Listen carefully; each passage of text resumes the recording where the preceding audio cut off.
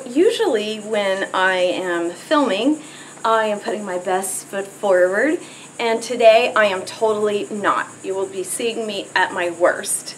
But I am doing a project behind me and I wanted to let you know about it because it is such a cool idea. I thought, well, maybe you might want to try it for one reason or another as well. So I wanted you to know how I'm doing it.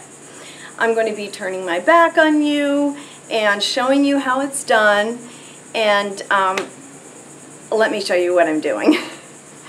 this is a wall that my husband made for me out of um, recycled pallets and I am doing a new project. I've decided to have a booth at a local antique mall because I have um, stacks and boxes of things that I'm not using anymore. Old things and I am simplifying.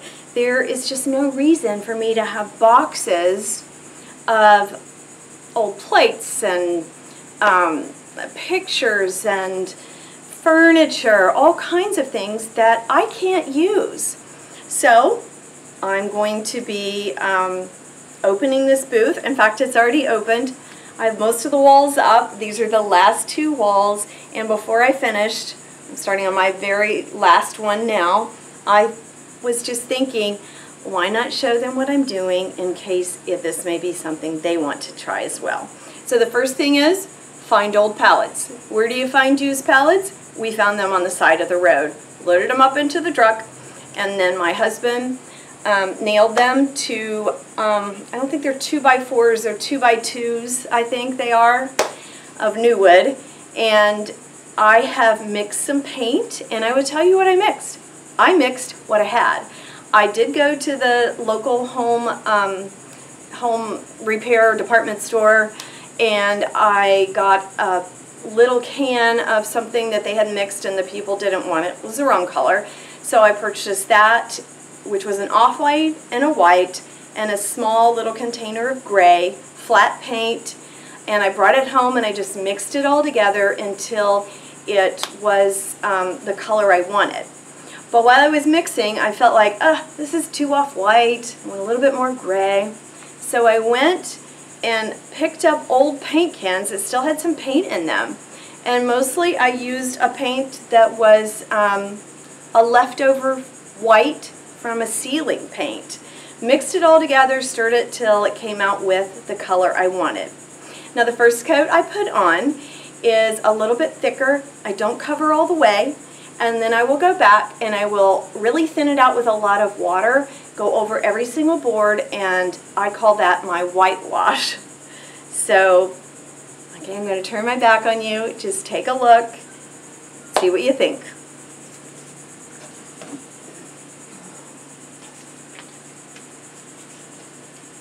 Um, I will tell you that my husband said, you know, you can use those, um, you can stand on them like a ladder, so that's what I do.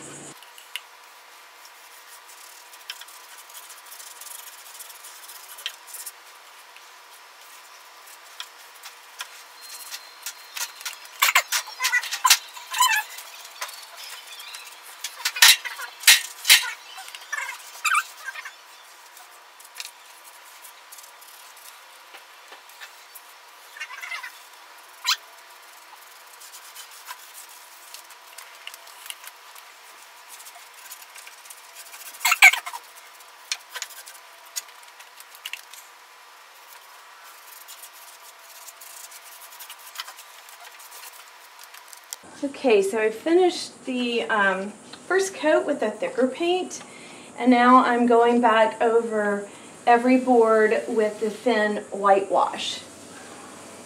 You see how thin that is? It does uh, tend to get a little bit runny, and I just don't worry about it. I just go back and kind of um, smooth out the drip marks. And the reason I go back over it with this um, whitewash is uh, because I feel like it smooths the surface out a little bit. Um, you'll find that if you're painting pallets, um, every single board absorbs your paint differently. But I find that I really love that and I get really excited with each board on seeing exactly how that board's going to take the paint. And it smooths out the finish and I don't worry about it being um, messy or um, kind of looking undone. I want it to be, I would call it rustic chic. Um, I love the way it looks. This is exactly what I was after. I like to get the center parts a little bit. Again, um, it doesn't need to be completely covered. I don't want it to be completely covered. And I'll tell you that when I was at that um, big box office, uh, not office, big box um, home improvement store, that uh, the, the lady told me, she's like, now you're going to have to seal that or it's going to fade. Well, I'm not sealing this, and if it fades, I think it's going to look better.